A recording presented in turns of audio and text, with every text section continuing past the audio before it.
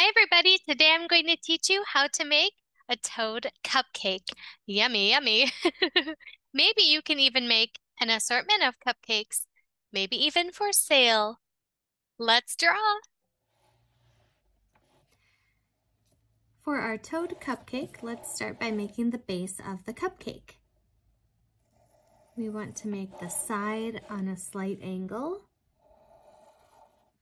and then the bottom, and the other side.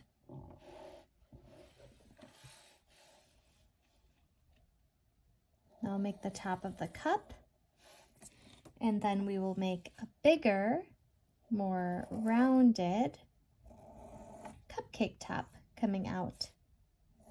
Mm -hmm. It looks a little bit like a mushroom head, doesn't it?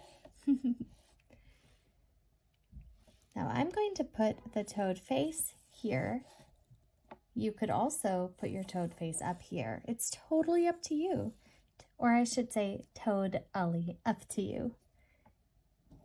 I'm going to make two oval eyes with a highlight spot in each one at the top. Color in everything but that little highlight spot.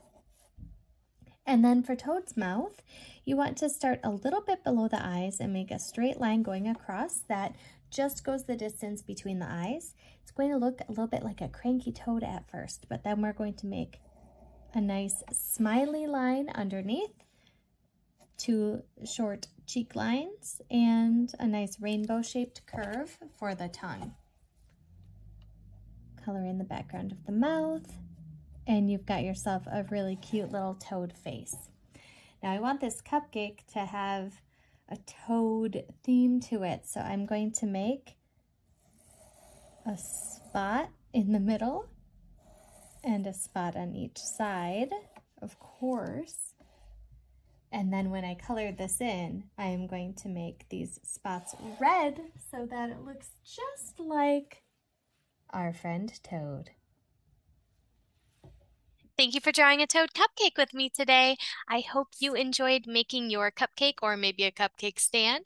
And if you enjoyed drawing with me, be sure to subscribe so that the next time I post another drawing video, you can be the first to see it and draw with me again. I hope you have a great, wonderful day. And one last thing to say, thanks for drawing with me.